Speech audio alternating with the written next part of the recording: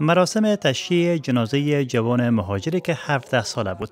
اینجا شماری از مهاجران و باشندگان منطقه خودمختار سیوتا گرد هم آمدند تا جسد یک مهاجر نوجوان را به خاک بسپارند. این مهاجر روز دوشنبه گذشته زمانی در بهیره مدیترانه جان باخت که در تلاش بود به وسیله شنا خود را از مراکش به قلمرو اسپانیا برساند. این پسر شهروند مراکش بود. در هفته گذشته هزاران پناهجو شبیه این پسر نوجوان تلاش کردند که یا از موانع مرزی بپرند یا به وسیله شنا خود را به منطقه خودمختار سیوتا برسانند. این مسلمانان مطابق به رسوم و انعناتشان نماز جنازه قربانی را ادا می کنند تا بعدتر او را به خاک بسپارند.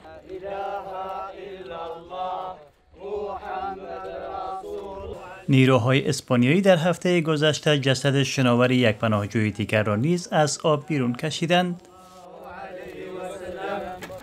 al final aquí en el cementerio los tratamos como si fuera otra persona de aquí de Ceuta con toda la dignidad en su cementerio sin distinción del lugar donde pueda darle lo que es su tumba, su sepultura.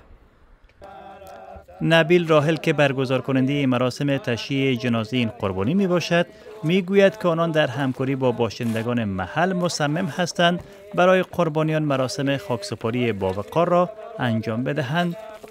نبیل راهل با خانواده این قربانی در مراکش صحبت کرده است. والدین این قربانی گفتند که آنان از تصمیم مهاجرت پسرشان آگاهی نداشتند و او بدون اطلاع دادن به خانواده تلاش کرده است که وارد منطقه سیوتا شود.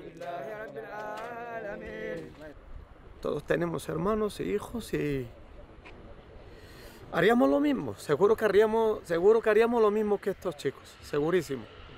Segurísimo. Intentar encontrar algo mejor.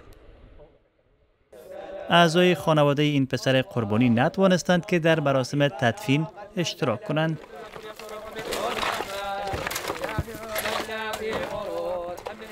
قرار است برای اعضای خانواده این جان باخته.